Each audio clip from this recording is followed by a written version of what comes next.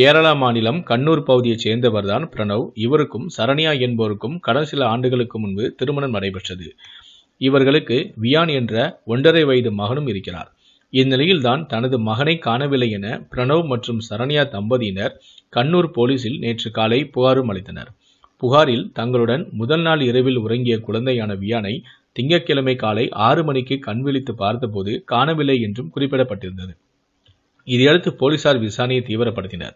விசாரணை தொடங்கப்பட்ட நிலையில் காலை பத்து மணி அளவில் பிரணவின் வீட்டு அருகே உள்ள தாயில் என்ற பீச் பகுதியில் குழந்தையான வியானின் உடல் கரை ஒதுங்கியது. வீட்டுக்கு அருகே உள்ள கடற்கரையில் குழந்தையின் உடல் கண்டெடுக்கப்பட்டதை தொடர்ந்து போலீசாரின் சந்தேக பார்வை பிரணவ் மற்றும் சரண்யா மீது விழுந்தது.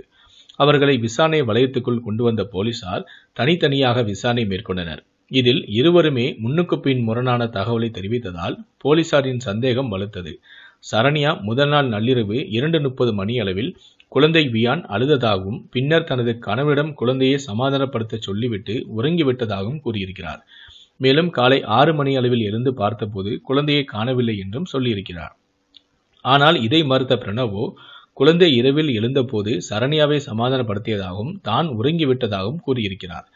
இதையடுத்து அவர்கள் வீட்டில் பயன்படுத்திய போர்வை இருவரது உடை உள்ளிட்டவைகளை கைப்பற்றிய போலீசார் ஆய்வுக்கு அனுப்ப முடிவு செய்தனர். அவர்களில் ஒருவர் கண்டிப்பாக கடல் பகுதிக்கு சென்றிருந்தால் நிச்சயம் அதில் உப்பு படிந்திருக்கும் என்ற கோணத்தில் அவர்கள் விசாரணையை தீவிரப்படுத்த தொடங்கினர். மேலும் தடவியல் நிபுணர்களும் பிரணவின் வீட்டில் சோதனை தொடங்கியிருந்தார்கள். இந்த சூழலில்தான் குழந்தையை கொலை செய்ததை தாயான சரண்யா ஒப்புக்கொண்டு இருக்கிறார் மேலும் அவர் கூறிய தகவலை போலீசார் மட்டுமல்லாது கேரளாவை அதிர வைத்திருக்கிறது. அவர் குழந்தை அழுததும் அதை சமாதானப்படுத்துவதாக பின்னர் கடற்கரைக்கு குழந்தையை தூக்கிச் சென்றதாகவும் கூறியிருக்கிறார். வீட்டிலிருந்து நூறு மீட்டர் தூரம் உள்ள கடற்கரைக்கு சென்ற பின்னரும் குழந்தையான வியான் அழுகையை நிறுத்தாததால் சிறிது நேரம் அங்கு அமைதிப்படுத்தியதாகவும் கூறியிருக்கிறார். இது குறித்து போலீசார் கூறுகையில் கடற்கரையில் குழந்தையான வியான் அழுகையை நிறுத்தியதும் கடலை ஒட்டிய பகுதிக்கு குவிக்கப்பட்டுள்ள கற்குவியலின் கீழ் பாகத்தை நோக்கி குழந்தையை சரண்யா பலம் கொண்டு வீசி எறிந்திருக்கிறார். சிறிது நேரம் கடந்ததும் குழந்தையின் அழுகை சத்தம் கேட்டதால் கீழே இறங்கிச் சென்று குழந்தையை திரும்பவும் மேலே தூக்கி வந்திருக்கிறார். பின்னரும் இரண்டாவது முறையாகும் குழந்தையை அந்த கற்களுக்கு இடையே வீசியிருக்கிறார் குழந்தையென குழந்தையை அலைகள் இழுத்துச் செல்வதை பார்த்து அது இறந்துவிட்டதை உறுதி செய்த பின்னரேதான் சரண்யா வீடு திரும்பி இருக்கிறார். பின்னர் காலையில் எழுந்து குழந்தையை காணவில்லை என கணவரிடம் கூறி புகாரும் கொடுத்திருக்கிறார். போர்வை உடை போன்றவற்றை எடுத்து தடவியல் பரிசோதனைக்கு அனுப்ப நாங்கள் முடிவு செய்த போதுதான் கொலை குறித்து அவர் ஒப்புக்கொண்டுள்ளார். பிரணாப் சனையை இடையே கடந்த சில மாதங்களாகவே பிரச்சினை நீடித்து வந்திருக்கிறது.